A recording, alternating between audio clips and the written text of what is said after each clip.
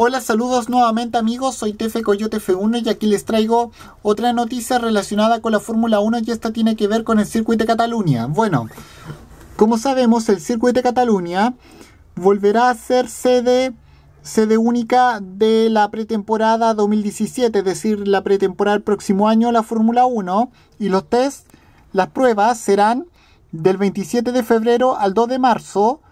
Eh, y del 7 de y del 7 al 10 de marzo.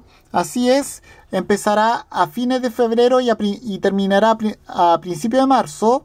Eh, esto lo han acordado los equipos de la Fórmula 1. Formalmente disputar las pruebas de pretemporada del próximo año, de ser 2017 en Barcelona.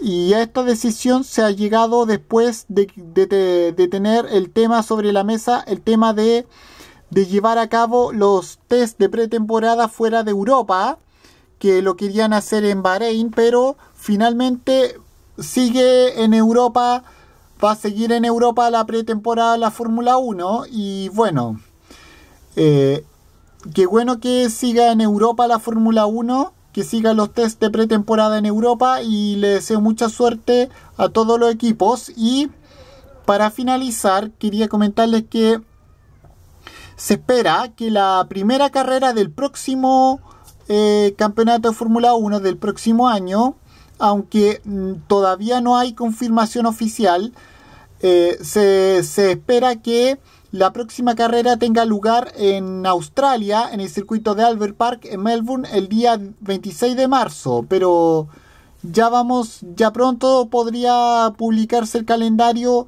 de la próxima temporada de la Fórmula 1. Y bueno, con esto me despido. Nos vemos en otro video. Soy Tefe Coyote, Coyote F1. Adiós, que fuera. Chao.